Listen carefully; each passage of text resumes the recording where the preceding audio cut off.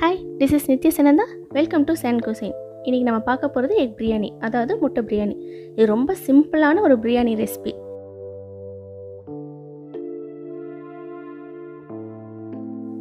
இதுக்கு முதல்ல முட்டையை வேக வச்சுக்கலாம். ஒரு பாத்திரத்தில் தேவையான அளவு தண்ணி ஊற்றிக்கோங்க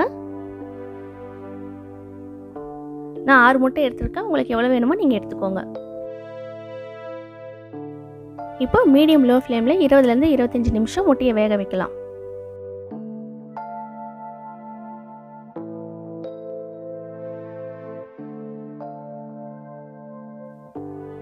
இப்போ இருபத்தஞ்சி நிமிஷம் ஆயிடுச்சுங்க. ஸ்டவ் ஆஃப் பண்ணிட்டு முட்டை எல்லாமே ரிமூவ் பண்ணிவிடுங்க வாட்டர்லேருந்து.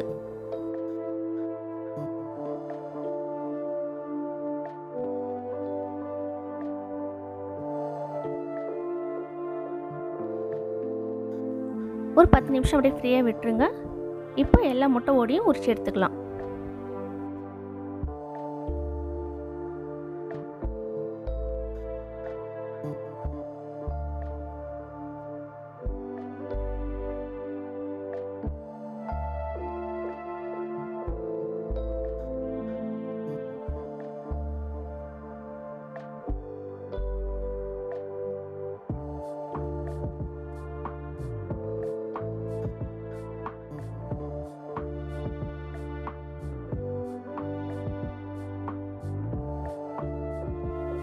இந்த மாதிரி எல்லா முட்டைகோடையும் உரிச்சு எடுத்துக்கோங்க.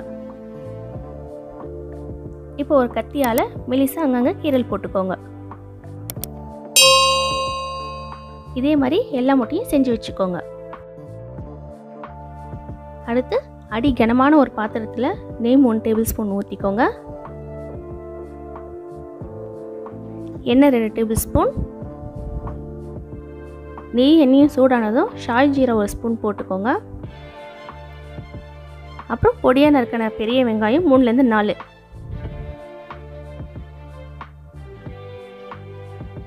இது எல்லாமே மீடியம் ஹை ஃப்ளேமில் பதினஞ்சுலேருந்து இருபது நிமிஷம் நல்லா வதக்கிக்கோங்க.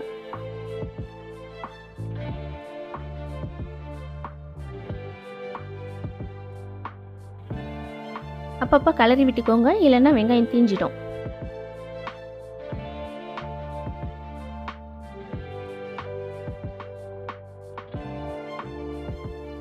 இப்போ வெங்காயம் நல்லா வதங்கிடுச்சு.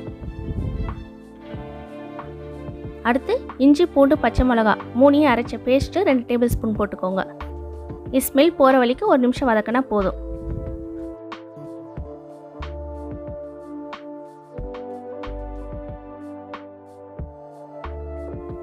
இப்போ இது கூடவே தக்காளி விழுது போட்டுக்கோங்க. மஞ்சள்தூள் அரை ஸ்பூன் உப்பு தேவையான அளவு மிளகாய் தூள் ஒரு டேபிள் ஸ்பூன் நான் கலருக்காக காஷ்மீர் தூள் யூஸ் பண்ணியிருக்கேன். அது ரெண்டு ஸ்பூன் பிரியாணி மசாலா ரெண்டு ஸ்பூன் இது எல்லாத்தையும் நல்லா கலந்து விட்டுக்கோங்க.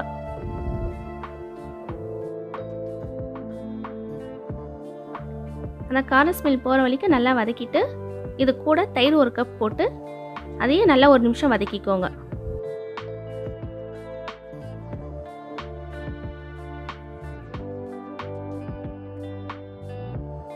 இப்போ இந்த ஸ்டேஜில் பொடியாக நறுக்கின புதினாவும் ஒரு டேபிள் ஸ்பூன் போட்டுக்கோங்க. இது கூடவே முட்டையும் போட்டு ஒரு ஸ்பூனில் கலரி விட்டுக்கோங்க உடையாமல் நான் முட்டையை ஃப்ரை பண்ணலைங்க. ஏன் அப்படின்னாக்கா அந்த ஸ்கின் எல்லாம் வந்து ரப்பர் மாதிரி ஆகிடும் சாப்பிட்ட வந்து சாஃப்டாக இருக்காது. இந்த மாதிரி ட்ரை பண்ணி பாருங்கள் எக் பிரியாணி நல்லாயிருக்கும். இந்த முட்டையும் மசாலாவும் நல்லா கோட் ஆகிற மாதிரி ஒரு ஸ்பூனில் கலந்து விட்டுக்கோங்க முட்டை உடையாமல்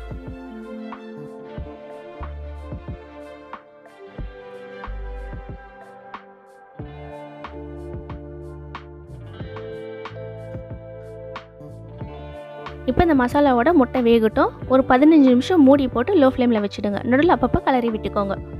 இப்போ நம்ம பிரியாணிக்கு சாப்பாடு ரெடி பண்ணிக்கலாம். அதுக்கு ஒரு பாத்திரத்தில் ரெண்டு லிட்டர் தண்ணி ஊற்றிக்கோங்க இது கூடவே ஷாய் ஜீரா ஒரு ஸ்பூன் அன்னாச்சி பூ ஒன்று ஏலக்காய் ரெண்டு லவங்கம் மூணு பட்டை ஒரு இன்ச்சு மராத்தி மூக்கு ஒன்று மிளகு ஏழுலேருந்து எட்டு பிரிஞ்சில் ரெண்டு நெய் ஒரு டேபிள் ஸ்பூன். கூடவே கொஞ்சம் கொத்தமல்லி ஒரு டேபிள் ஸ்பூன் போட்டுக்கோங்க. எலுமிச்சப்பழம் ஒரு ஸ்லைஸ் உப்பு தேவையான அளவு. இதெல்லாம் நல்லா கொதி வரட்டுங்க. இப்போ தண்ணி நல்லா கொதி வந்துடுச்சுங்க. நான் பாஸ்மதி அரிசி எடுத்திருக்கேன். இருபது நிமிஷத்துக்கு முன்னாடியே கழுவி நல்லா ஊற வச்ச அரிசி.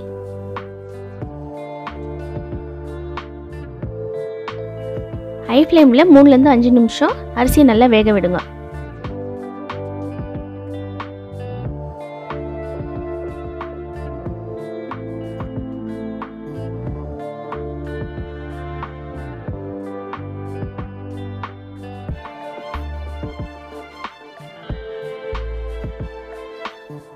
அரிசி முழுசாக வேக வேண்டாங்க. ஒரு அறுபது பர்சன்ட் குக் ஆனால் போதும்.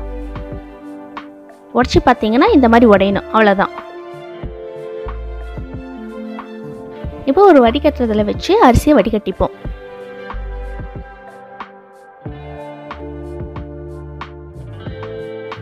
இருக்கிற தண்ணி எல்லாமே இறங்கிட்டுங்க. இந்த லெமனை ரிமூவ் பண்ணிடலாம். இப்போ சாதத்தில் இருந்த எல்லா தண்ணியுமே வடிஞ்சிருச்சு. இப்போ கால் மணி நேரம் ஆயிடுச்சு மூடி எடுத்து பார்ப்போம். இப்போ அந்த மசாலா கூட முட்டை நல்லா வெந்திருக்கு. பாருங்க.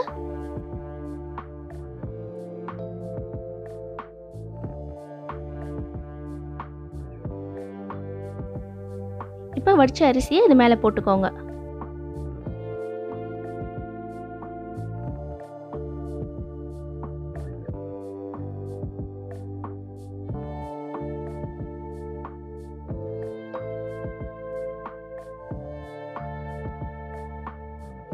இப்போ அந்த அரிசி எல்லாமே சமமாக பரப்பி விட்டுக்கோங்க.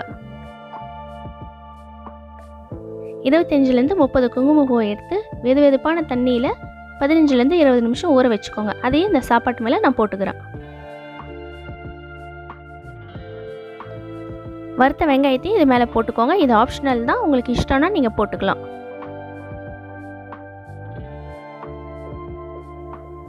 அடுத்து பொடியாக நறுக்கின கொத்தமல்லி ஒரு டேபிள் ஸ்பூன். புதினா ஒரு டேபிள் ஸ்பூன். நெய் ஒரு டேபிள் ஸ்பூன் ஊற்றிக்கோங்க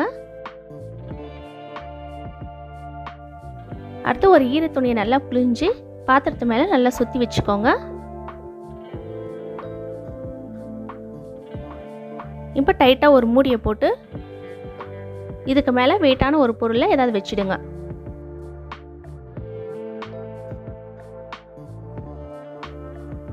அடுத்து அடி கனமான ஒரு தோசை தவா வச்சுக்கோங்க. அது மேலே இந்த பாத்திரத்தை வச்சு அஞ்சு நிமிஷம் மீடியம் ஃப்ளேமில் வைங்க. அதுக்கப்புறம் லோ ஃப்ளேமில் பதினஞ்சு நிமிஷம் வச்சு விட்டுருங்க. இப்போ நல்லா குக் ஆயிடுச்சு. பதினஞ்சு நிமிஷம் அப்படியே ரெஸ்ட்டில் விட்டுருங்க. பிரியாணி பர்ஃபெக்டாக ரெடி ஆகிடும் இப்போ பிரியாணி எப்படி வந்திருக்குன்னு பார்க்கலாம். இப்போ மூடியை ரிமூவ் பண்ணிட்டு அந்த கிளாத்தையும் ரிமூவ் பண்ணிடுங்க. அரிசி எதுவுமே உடையில. பல பலன் வந்திருக்கு. எக் பிரியாணி ரெடி ஆயிடுச்சு. இந்த வீடியோ பிடிச்சிருந்தால் லைக் பண்ணுங்கள் ஷேர் பண்ணுங்கள் கமெண்ட் பண்ணுங்கள் மறக்காமல் சப்ஸ்கிரைப் பண்ணிட்டு பக்கத்தில் இருக்க பெல் ஐக்கானையும் ப்ரெஸ் பண்ணிடுங்க.